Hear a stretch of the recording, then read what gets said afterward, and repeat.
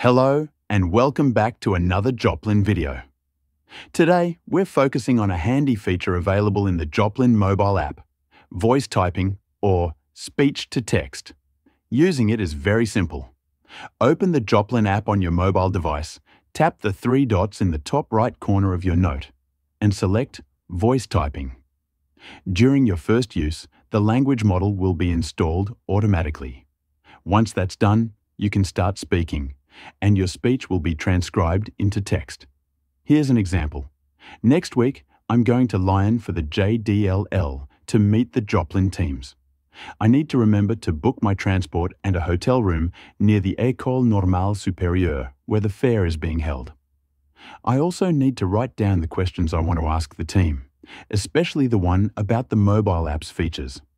As you can see, my voice has been converted into written text with intelligent punctuation and structure. That means I can easily edit it later, or continue working on it from my computer thanks to synchronization.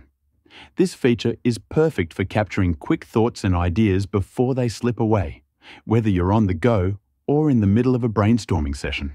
And the best part?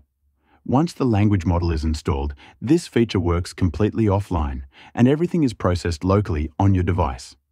It means your private voice data will not be uploaded to a third-party server.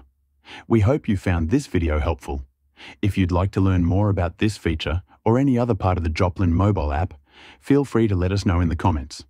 Thanks for watching and see you soon in the next video.